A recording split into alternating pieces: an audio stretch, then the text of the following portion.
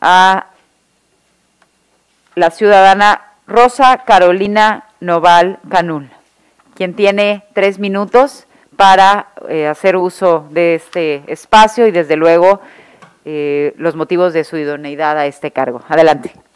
Muy buenas tardes, muchas gracias. Mi nombre es Rosa Carolina Noval Canul. Soy una mujer nacida en este estado, abogada de profesión, actualmente con dos maestrías, una en Derecho Fiscal y la otra en Anticorrupción y Sistema de Justicia. Al día 15 de enero terminé mis estudios en doctorado de anticorrupción. Cuento con una experiencia de 20 años en Derecho Administrativo, la cual incluye pericia en el juicio contencioso administrativo y conocimientos prácticos del juicio de amparo y de los procedimientos de responsabilidades administrativas y de responsabilidad patrimonial del Estado. Durante los últimos cuatro años me he desempeñado en la carrera jurisdiccional, eh, desempeñando el cargo de secretaria de sala en la tercera sala unitaria del Tribunal de Justicia Administrativa, formando así parte tanto de la cimentación como el desarrollo de este órgano jurisdiccional en el Estado. Previamente a esto me desempeñé en diferentes cargos de la Administración Pública.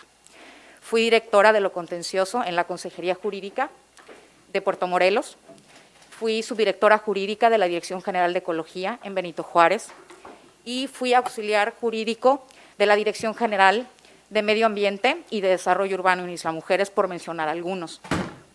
Cargos en los cuales tuve bajo mi responsabilidad la substanciación de los juicios de amparo, de los juicios contenciosos administrativos y de los procedimientos administrativos, así como la elaboración de sus correspondientes resoluciones.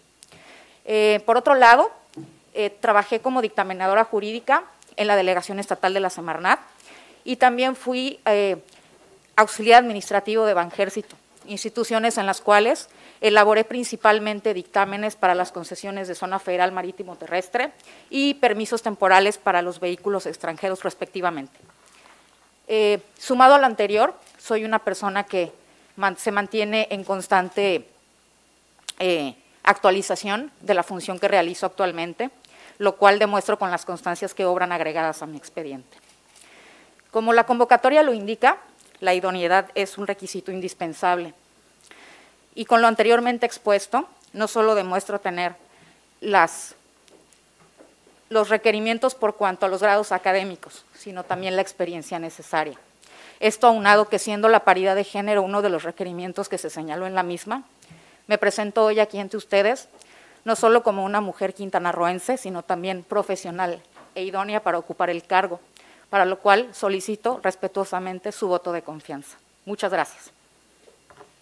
Muchas gracias, eh, compañeros diputados, diputada. Si alguien desea hacer alguna pregunta, es el momento. Adelante, diputado Eduardo Martínez Arcila. Hola, ¿qué tal? Buenas tardes. Este,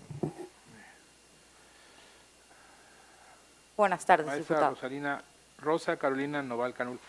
Eh, nada más, eh, sobre su experiencia en la sala unitaria del Tribunal de Justicia Administrativa, eh, entiendo entró aquí el 9 de mayo de 2019.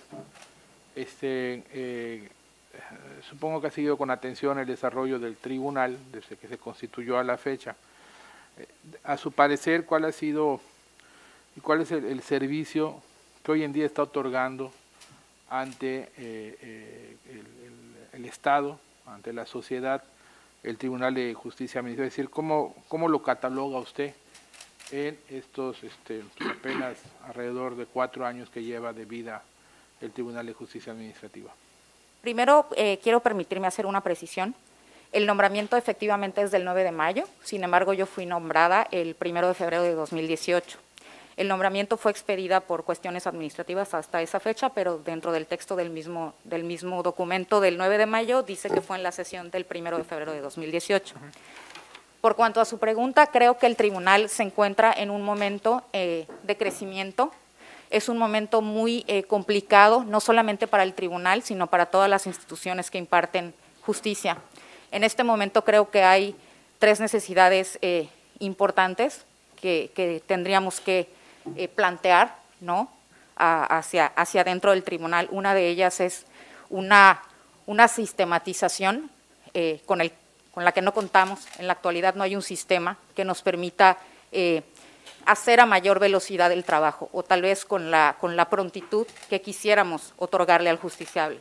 Por otro lado, nos estamos enfrentando a la pandemia, no, solo nosotros, toda la sociedad.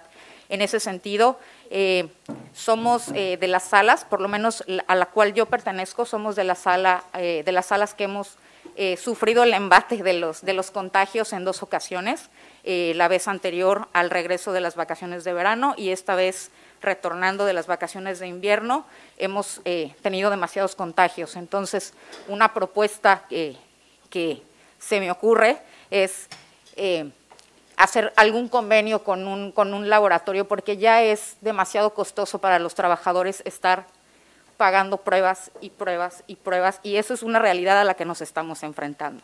La imagen hacia afuera del tribunal, que es a lo que se refería específicamente el diputado, creo que nos falta aún mucho por hacer. Creo que es un tribunal que tiene mucho potencial, demasiado. Eh, somos de las salas, tanto la tercera como la cuarta, de más asuntos, de, los, de las que más asuntos recepcionan en, en, el, en el norte del país, y lo que se necesitan son manos, ¿no? manos para poder ofrecer un, todavía un mejor servicio del que ya ofrecemos, aún con las carencias que tenemos. Gracias, gracias, gracias Presidenta. Diputado Edgar Gasca. No, ya, ah, ok, ok. Este, yo solo quisiera hacer una pregunta derivado a la respuesta que acaba de mencionar. Entonces, para que diera mayor resultado, y a mí me, interesa, digo, como parte del legislativo, eh, y que diera mayores resultados, sería aumentar el personal que está ahí, o sea, en cuanto a sistemas, en cuanto a capacitación, ¿esa parte está, ha estado bien cubierta en estos años? La capacitación la, proporcionamos tanto adentro del tribunal como siempre estamos buscando opciones. La, la titular del área que se dedica a buscar educación, eh, nos ha proporcionado diversas opciones, ¿no? Algunas las hemos buscado en otras, en otras, en otros órganos jurisdiccionales, la sala regional, por ejemplo, ¿no? Nos hemos ayudado de esa manera. Eh, sí, a, esta, a este punto podría responderle que sí, sí faltan manos. Definitivamente, por lo menos en la zona norte, es una realidad por el número de expedientes al que nos enfrentamos. Ok, pues muchas gracias, diputada, ya verdad. Entonces, pues agradecerle su presencia y desde luego también su participación en esta convocatoria. Gracias a ustedes. Buenas tardes. Muchas gracias. Muy buen día.